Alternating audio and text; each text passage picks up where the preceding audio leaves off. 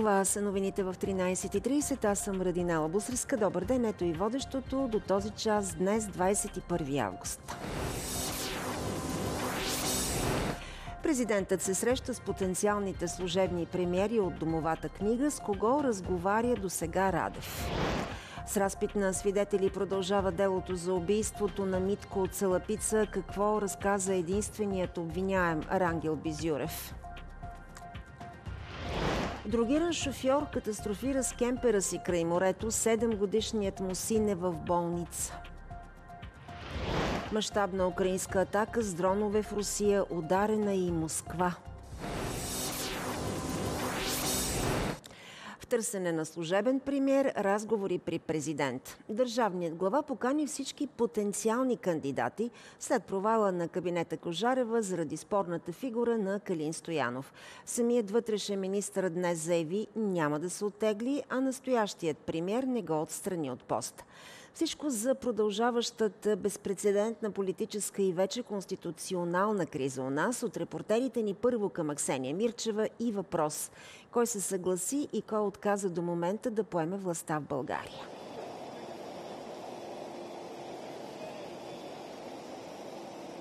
Добър ден, Ади. Ами до момента срещите може, можем да ги обобщим така. Президента получи само едно да и това е от сегашния служебен министр-председател Димитър Главчев, който изяви готовност да остане и като следващ служебен премьер.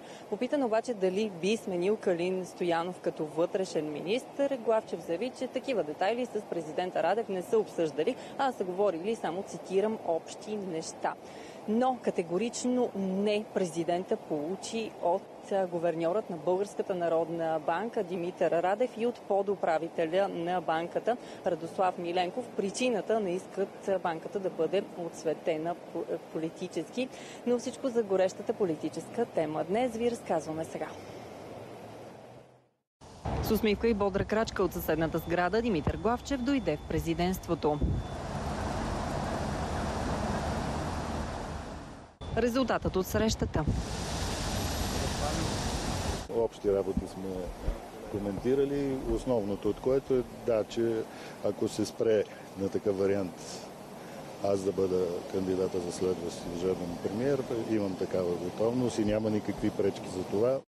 Веднага след Главчев на препитване от президента влезе и говерньорът на Българската народна банка. Разговорът между Радев и Радев продължи по-малко от час без особени надежди. Моята позиция е непроменена и това е добре известно на, на всички фактори. Тоест, че, а тя е, че Българска народна банка като цяло, още повече за управителя, че не трябва да бъде въвличан в политическия процес. Минути след това очи в очи с държавния глава се срещна и заместник шефа на БНБ Радослав Миленков. На излизане обаче и той каза не на възможността да заеме премиерския стол. По-скоро дори не се е стигнал до въпрос директно. Обясня, ситуацията е ясна и на мен, и на президента, и на, и на обществото. Какви са ограниченията? След като се срещна и с останалите от домовата книга, президентът ще вземе решение кой ще бъде новият служебен премиер. А сега, само преди минути на разговор с държавния глава влезе и заместник председателя на Сметната палата Тошко Тодоров. Предния път той също беше от тези потенциалните от домовата книга, които можеха да станат премиери, но той отказа с думите, че жена му не е спала от месеци при мисълта, че той може да бъде премиер. Така че очакваме да чуем и сега думите му какво са си казали с президента Радев, дали би приел да бъде служебен премиер или отново би отказал. Иначе това за днес се очертава последната среща очи в очи между президента и потенциалните премиери. Днес той трябваше да се срещне още и с председателя на Народното събрание Рая Назарян, както и с другия подуправител на Българската народна банка Петър Чубанов. Те обаче не са в София и именно заради това президента Радев ще разговаря с тях, но по телефона. Тук трябва да дойде, трябваше да дойде и омбудсмана или неговите заместници, тъй като те също са част от така наречената домова книга, но тъй като страната ни в момента няма омбудсман, няма и заместници и заради това тази процедура се изчерпва до тези хора, които днес разговаряха с държавния глава, така че ще видим какъв ще бъде и неговият избор. Но за сега, както и ти каза, Акси, едно да и няколко не на Дундуков. Две Аксения Мирчева, благодаря ти, а на Дундуков едно. Димитър Главчев остави в състава на кабинета си Калин Стоянов. Самият вътрешен министр пък заяви, че няма да се оттегли, въпреки призивите на политически сили. Има ли отговори на политическата покана от лидера на ДПС Делян Пеевски? Благовести ли е сега с отговорите на тези въпроси? Здравей! Здравейте! Служебният министр на вътрешните работи Калин Стоянов благодари на Делян Пеевски за цялостната му подкрепа за повереното му министерство, но не отговори категорично дали ще приеме поканата му за новия му политически проект. Оказа се, че Калин Стоянов има и други предложения от партии за включване в листите им.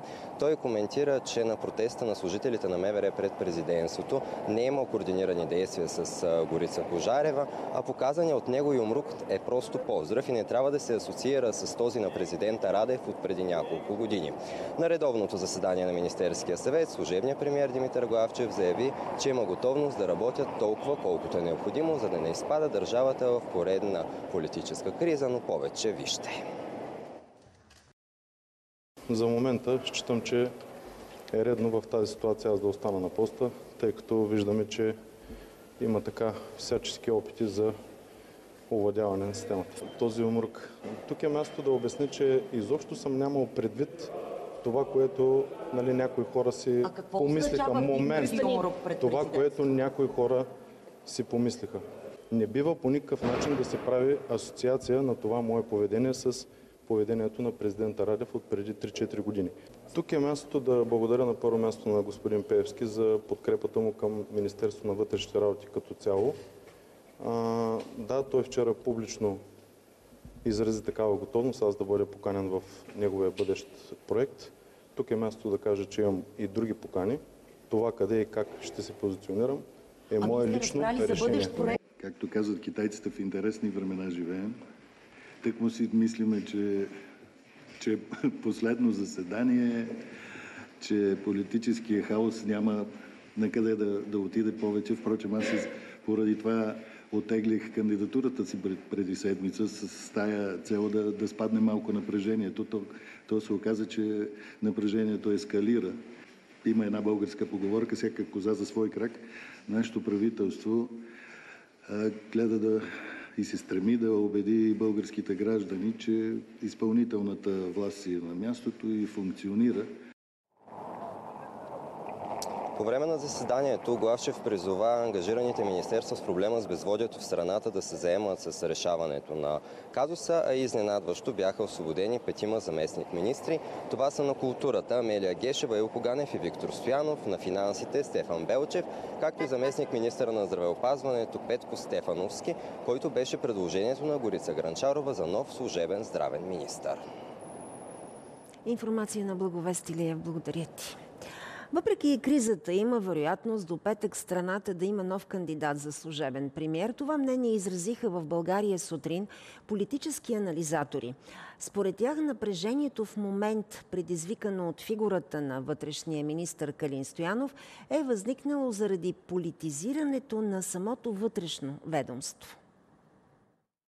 Свидетели сме на поредния политически спектакъл, а политическият елит не е в състояние да излучи служебен кабинет. Категорични са социолози и политолози. По думите им, основният проблем на Министерството на вътрешните работи е политизацията. Вчера Калин Стоянов получи оферта за кариерно развитие в политиката, но това няма да е първия случай. Да не забравяме, че хора от професионалното ръководство, като Младен Маринов и Терзийски, ставаха министри на вътрешните работи и след това бяха наградени с депутатска карта. Това е един подход, който трябва да бъде прекратен във времето напред. Начало на МВР трябва да стоят политици, които да гарантират кой носи ясната политическа отговорност Това осигурява и контрол от страна на гражданското общество над Министерството, за да не се стига до такива парадоксални ситуации, служители на МВР да протестират, защото те са тези, които искат да избират кой да им бъде министр.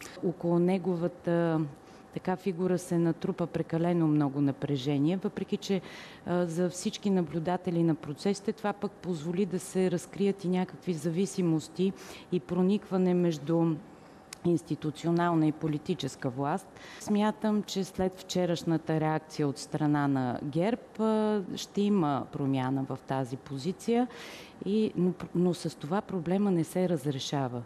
Той за момента само се заобикаля. Политологът Милен Любенов изрази надежда, че до края на седмицата ще има нов кандидат за служебен премиер. Политическите партии не могат да се договорят около кандидатурите. А, така че да забравим за, за, за, за тази идея. От тук насетне има ясно решение, според мен, което ще го видим още в рамките на днешния и на утрешния ден.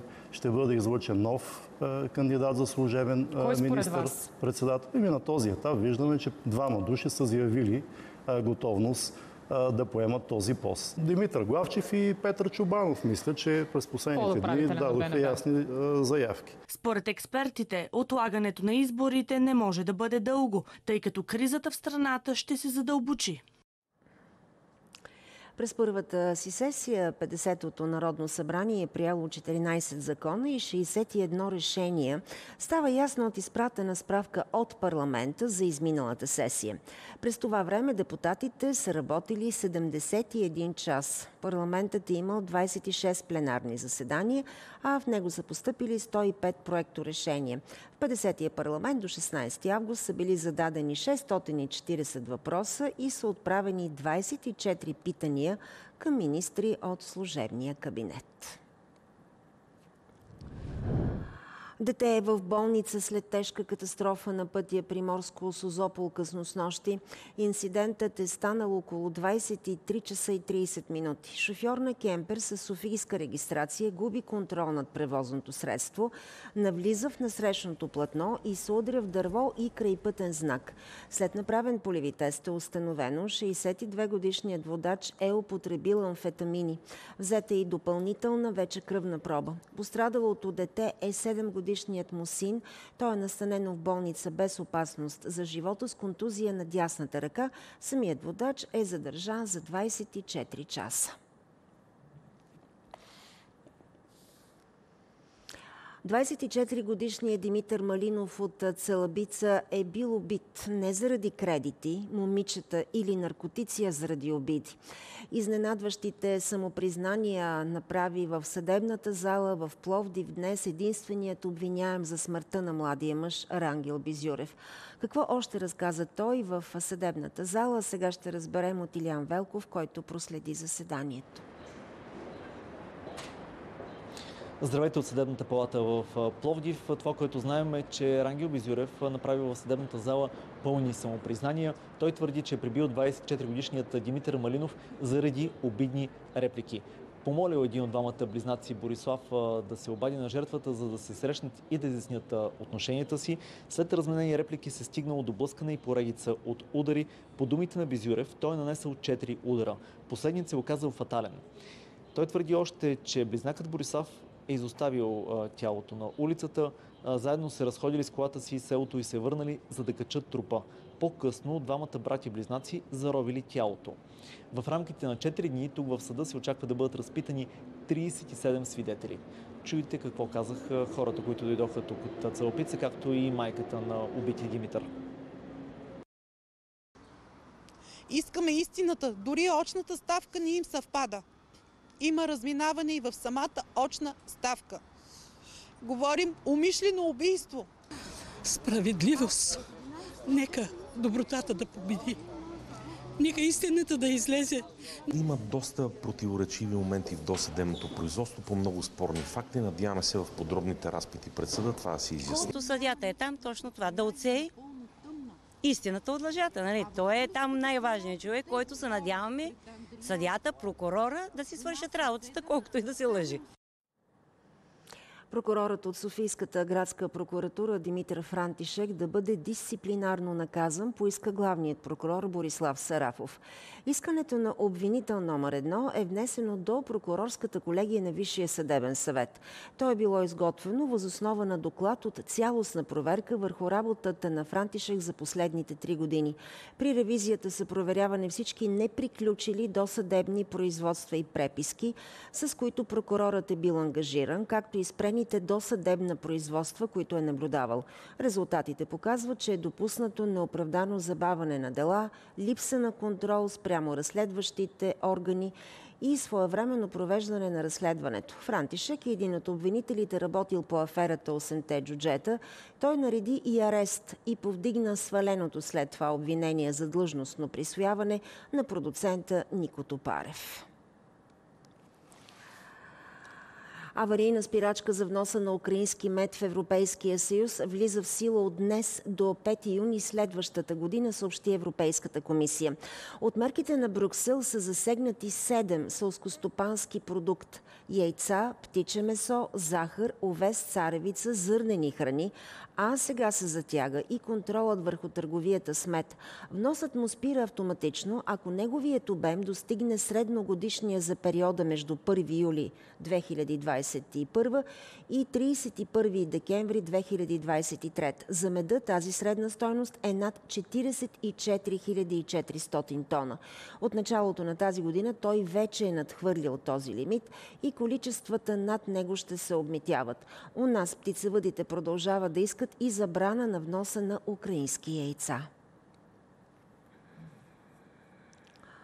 А самата Украина предприе едно от най-мащабните си нападения с дронове срещу Русия, включително и столицата Москва.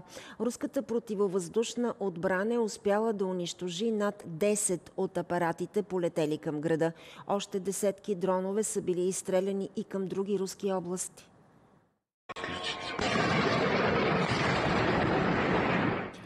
Някои от дроновете са били свалени над град Подолск, само на около 40 км южно от Кремъл, съобщи кметът на Москва. Няма информация за пострадали хора или щети. Това е един от най-мащабните в историята опити за нападения с дронове срещу Москва. Продължаваме да следим ситуацията. Системите за противовъздушна отбрана на Министерството на отбраната отблъскват атаките на вражеските дронове. Заради нападението трафикът на летищата в Москва беше ограничен временно. Противовъздушната отбрана е отразила още десетки дронове в други четири области. Ударът беше нанесен, докато Русия, макар и да напредва в източна Украина, е затруднена в опитите да изтласка украинските сили от Курския регион на своя територия. Украинският президент не коментира атаката с дронове, а изрази загрижено за ситуацията на източния фронт. Оборона на Покровскому, Торецкому напрямку. Отбраната при Покровск и Торецк удържа настъплението на окупаторите, но ситуацията на източната фронтова линия е трудна. Необходим ни е баланс между процеса на мобилизация на военнослужащите и поддържането на разрушената от войната економика. Заради съобщения на американски медии от Курския район, Руското външно министерство извика дипломат от посолството на Съединените щати. Москва е възмутена от репортажи от Суджа, главния град, който е превзет от украинците. Според Руското външно министерство такива действия показват, че Съединените щати са пряк участник в конфликта с Киев – на този фон руският президент Владимир Путин посети Чечения за първи път от 2011 година. Той беше посрещнат от своя съюзник Рамзан Кадиров, който управлява автономната Кавказска република с Желязна река. Путин започна визитата си с посещение на гроба на бащата на Кадиров, убит при ислямистски атентат през 2004 година. Шокиращото желание на Ален Делон, който при живе поиска кучето му да бъде приспано и погребано с него, беше отхвърлено от децата му. Преди да напусне този свят, Делон е пожелал 10-годишната му белгийска овчарка Лубо да бъде погребана заедно с него в гробището в дома му в село Души в Луарет. Това стана ясно броени дни след смъртта на актьора, който почина на 88 години. Веднага след това последваха протести на защитници на правата на животните и огромна вълна от възмущение, че здраво животно трябва да бъде умъртвено. Дъщерята на Делон, Анушка, е потвърдила, Лобо е част от семейството и остава да живее с тях. Вече официално Дженифър Лопес и Бен Афлек се развеждат. Певицата е подала документите, които ще сложат край на две годишния им брак. Двамата се запознават на снимачната площадка през 2003. За кратко са сгодени, а 20 години по-късно отново се събират и минават под венчило. Това е четвърти брак за Лопес и втори за двукратния носител на Оскар Бен Афлек. Според приятели на звездната двойка, двамата са подписали окончателните документи за разделата, след като и последният им опит да спасят брака се е провалил.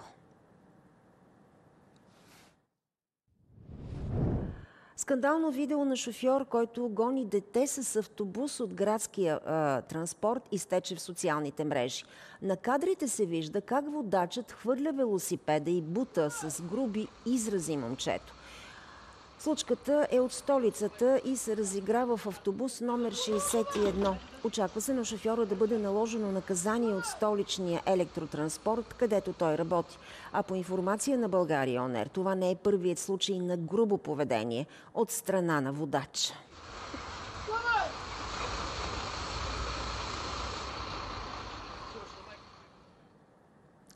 Престижни отличия за страната ни 17 ученици спечелиха призови места от състезание по математика в Сеул и Куала Лумпур сред конкуренция от над 1600 деца от целия свят. В Стара Загора възпитаниците получиха и награди за своите успехи. Стотици решени задачи, търпение и воля. Това е успешната формула за златни и сребърни медали от големи математически форуми. За 120 минути участниците е трябвало да решат по 30 задачи с отворен отговор. Изисква се изключително много работа, изключително много труд за постигането на тези резултати. Времето е малко за тези задачи, наистина, и наистина трябва много експедитивно да се работи върху тях. Създателите са от 16 държави и са над 1500, така че конкуренцията е много висока. Като цяло не се чувстваш комфортно, когато решаваш теста. Със сигурност беше трудно. За първи път се явявам на това състезание. Конкуренцията е ужасно голяма, но за първи път участвам и за първи път взимам медал. Подготовката на участниците се е провела в платформата на Азия Open и в Академията по математика в Стара Загора. Не е важното медалите, важното е а, човек да става по-добър и да, да се движи напред. А, медалите са част от а, емоцията, но идва следващия момент, а този следващ момент трябва да се, да се а, търси. Деца, вие постигнахте чудеса Изключително много се гордеем с вас. Благодарим на господин Любенов, благодарим на всички учители, които подготвят децата с тази отдаденост, защото аз и ние всички знаем за какъв труд става дума. Благодарим и на родителите, които винаги стоят до тях и ги подкрепят и ги окриляват. Община Стара Загора подпомага даровитите деца чрез програмата си за стимулиране на ученици с високи постижения. Еми, браво на тези прекрасни деца. Така се разделяме до емисията ни в 15.30. Спокоен следобед.